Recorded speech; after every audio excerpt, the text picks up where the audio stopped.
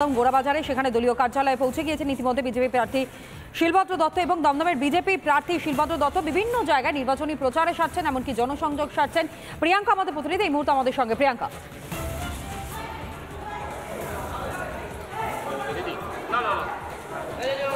তনয়, দেখো, এই মুহূর্তে আমরা রয়েছি দমদম গোড়াবাজার অঞ্চলে এবং এখানে গোপাল মন্দিরে পুজো সেরেছেন বিজেপি প্রার্থী শিলভদ্র দত্ত।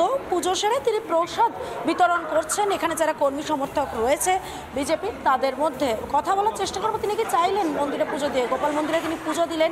কি প্রার্থনা করলেন ঈশ্বরের কাছে? সেটাই জানার চেষ্টা করব।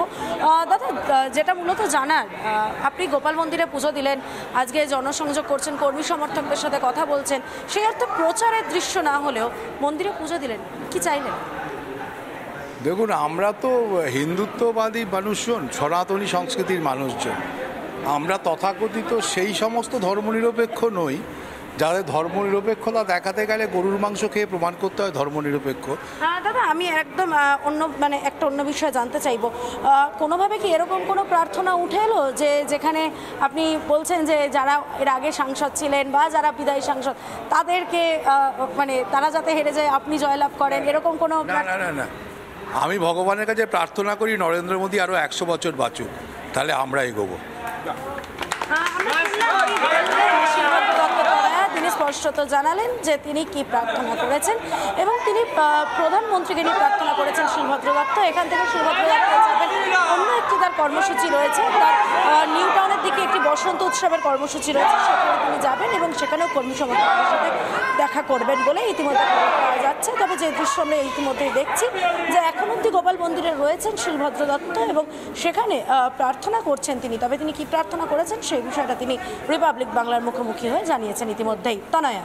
একেবারে তাই এবং সেই ছবিটাই আপনাদের সামনে আমরা তুলে ধরছি। অন্যদিকে দেখতেই পাচ্ছেন, বিজেপি প্রার্থীরা বিভিন্ন জায়গায় নির্বাচনী প্রচার সারছেন। গড়িয়াতে সেখানে ভোট প্রচারে বিজেপি প্রার্থী অনির্বাণ গাঙ্গুলি। গড়িয়া জনসংযোগ স্বার্থেও দেখা যায় বিজেপি প্রার্থীকে এলিনা এই মুহূর্তে আমাদের সঙ্গে। এলিনা।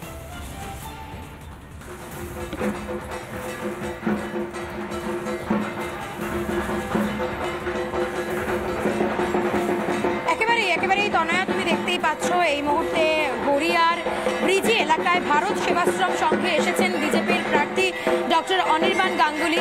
আমরা দেখতে পাচ্ছি এই মুহূর্তে আজকে তেমন তিনি তেমন নির্বাচনী প্রচার সারছেন একদিকে এবং একই সঙ্গে আজকে বিভিন্ন এলাকা তিনি কিন্তু ঘুরে ঘুরে দেখছেন। প্রচুর মানুষের সঙ্গে জনসংযোগ সারছেন এই মুহূর্তে। হাত জোর করে নমস্কার করছেন। ভারত সেবাশ্রম সংঘে এই মুহূর্তে আরতি চলছে। সেই আরতিতে আরতি দেখতেই এসেছেন ডক্টর অনির্বাণ গাঙ্গুলি এর আগে গড়িয়ার ছ নম্বর বাস স্ট্যান্ডে বসন্ত উৎসবে গিয়েছিলেন তিনি। সেখানেও প্রচুর মানুষের সঙ্গে জনসংযোগ সেরেছেন ডক্টর অনির্বাণ গাঙ্গুলি এবং তার কথায় তিনি কিন্তু একশো শতাংশ আত্মবিশ্বাসী।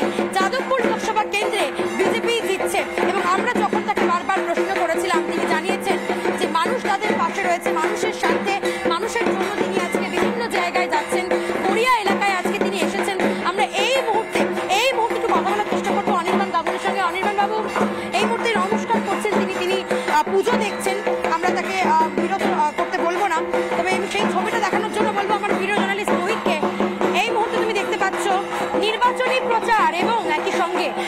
জনসংযোগ সারছেন বিজেপির প্রার্থী যাদবপুর লোকসভা কেন্দ্রের বিজেপি প্রার্থী ডক্টর অনির্বাণ গাঙ্গুলি। আজকে সকাল থেকে একেবারে নির্বাচনী প্রচার তিনি কিন্তু বেরিয়ে পড়েছেন। প্রচুর মানুষকে সঙ্গে নিয়ে তিনি কিন্তু বিভিন্ন জায়গায় যাচ্ছেন। বসন্ত উৎসবে তিনি গিয়েছিলেন এবং আমরা জানি কয়েকদিন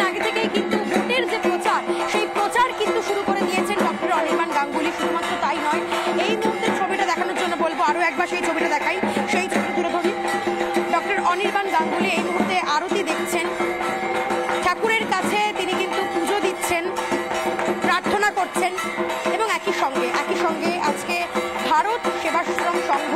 ব্রিজি এলাকায় সেই সেবাশ্রম সঙ্গে, ভারত সেবাশ্রম সঙ্গে এই মুহূর্তে এসেছেন তিনি, প্রচুর মানুষের সঙ্গে তিনি বারবার কথা বলছেন, তাদের কাছে নিজের তাদের কথা শুনছেন এবং একই সঙ্গে নির্বাচনী প্রচারটাও কিন্তু শুরু করে দিয়েছেন তিনি। আমরা জানি এর আগে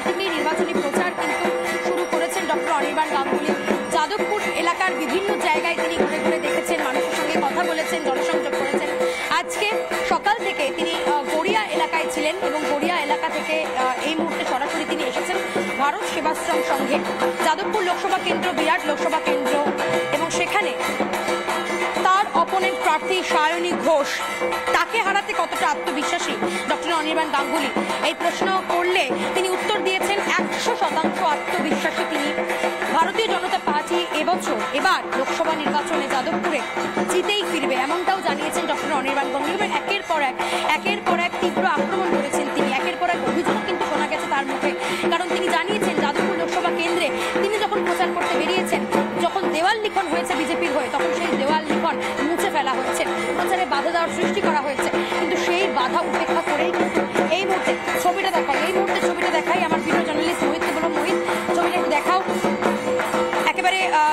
তিনি ডক্টর অনির্বাণ গাঙ্গুলি, তিনি কিন্তু আমরা দেখতে পাচ্ছি, আরতি দেখছেন ভারত সেবাশ্রম সংঘে ঠাকুর প্রণবানন্দজি মহারাজের যে বিগ্রহ রয়েছে, সেই বিগ্রহে এই মুহূর্তে মহারাজরা তারা পুজো করছেন, আরতি করছেন, সেই আরতি দেখছেন, প্রাণ ভরে এবং ঠাকুরের কাছে অবশ্যই অবশ্যই প্রার্থনা করছেন।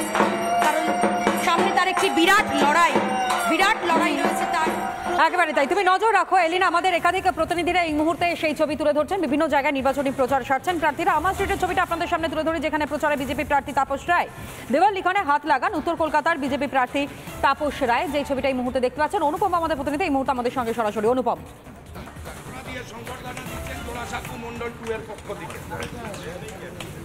এবং দেখো তোমার জানিয়ে রাখি যে তাপস রায় উত্তর কলকাতায় এবারে বিজেপি প্রার্থী। তিনি দেওয়াল লিখবেন আর কিছুক্ষণের মধ্যে। বর্তমান উত্তর কলকাতা জেলা সভাপতি একদিকে বসে আছে, প্রাক্তন জেলা সভাপতি একদিকে বসে আছে, মাঝখানে প্রার্থী, সরাসরি প্রার্থীর কাছে যাব। তাপস দা নাম ঘোষণার পর থেকে আপনি প্রচারে রয়েছেন। কেমন রেসপন্স পাচ্ছেন উত্তর কলকাতার মানুষ? আর উত্তর কলকাতায় যদি মানুষ আপনাকে শেষ পর্যন্ত নির্বাচিত করে দেয়, প্রথম কোন কাজটা আপনি এই উত্তর কলকাতার মানুষের জন্য করতে চাইছেন?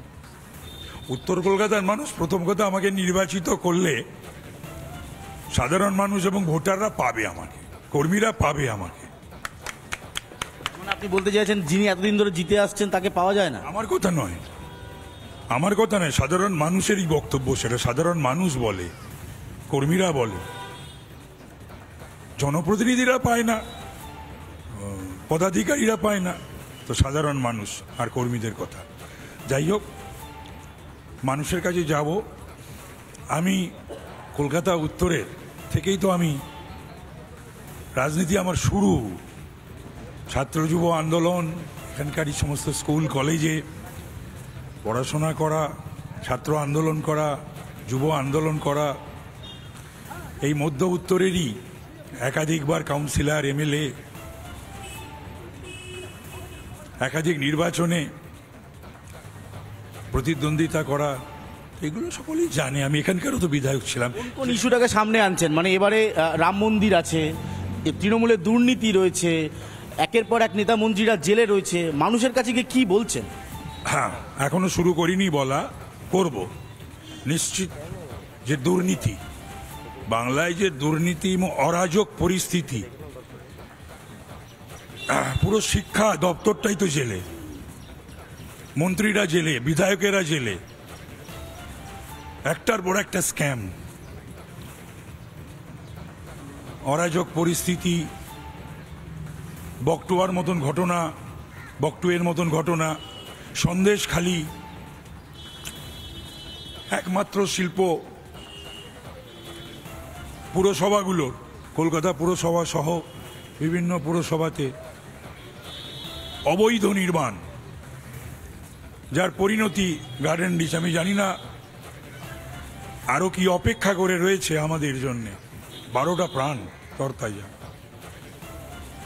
মোদিজির ভাবমূর্তি সারা বিশ্ব জুড়ে। ভারতবর্ষকে যে বিশ্বের মানচিত্রে তুলে ধরা, অর্থনৈতিক দিক থেকে স্বাবলম্বী করা শুধু নয় ফাইন্যান্সিয়াল দিক থেকে, অর্থনৈতিক দিক থেকে যে থ্রি ট্রিলিয়নের একটা তিনি আহ্বান করেছেন সেটা অবশ্যই তিনি যেগুলো যেগুলো বলেছেন সবকটাই তিনি করেছেন এবং করবেন। তার মধ্যে রাম মন্দির অন্যতম। বাংলার বুকে বহু প্রজেক্ট চলে যেগুলো কেন্দ্রীয় সরকারের অনুদান বা কেন্দ্রীয় সরকারের প্রকল্প, নামগুলো বদলে দেওয়া মাত্র। সব বহু কথা রয়েছে, সেগুলো যখন এখনই যদি বলি দিই তাহলে মঞ্চে কি বলব? আমার একটা শেষ প্রশ্ন। বারবার রাজ্যের বিরোধী রাজনৈতিক দল মূলত বিজেপি যে কোনো নির্বাচন একটাই অভিযোগ শাসক দল ভোট দিতে দেয় না বুথ দখল করে রিগিং করে ছাপ্পা দেয় আপনি প্রার্থী এগুলো সামলাবেন কি করে?